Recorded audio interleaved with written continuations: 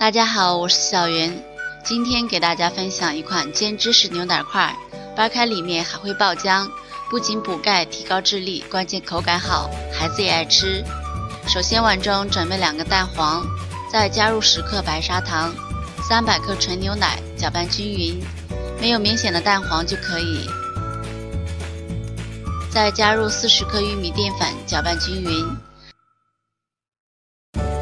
像这样就可以啦。再准备玻璃碗，刷油防粘备用。接下来，小锅中倒入搅拌好的牛奶液，中小火加热，再放入两片芝士片，不停的搅拌，很快芝士片就融化了。慢慢的，牛奶液越来越粘稠，这时候再加快速度搅拌均匀，没有颗粒感，像这样粘稠的状态就可以啦。直接倒在刷了油的碗中，铺平，再正平。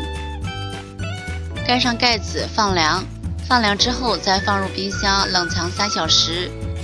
倒出来切成块状，然后沾上薄薄的一层玉米淀粉，再沾上鸡蛋液，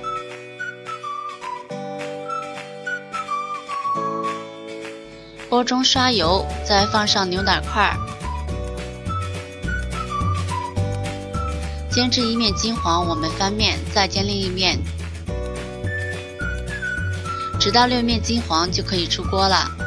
这样，我们的煎芝士牛奶块就做好啦。一岁一个月的宝宝一口气就吃了三个，喜欢一定要做给孩子吃哦。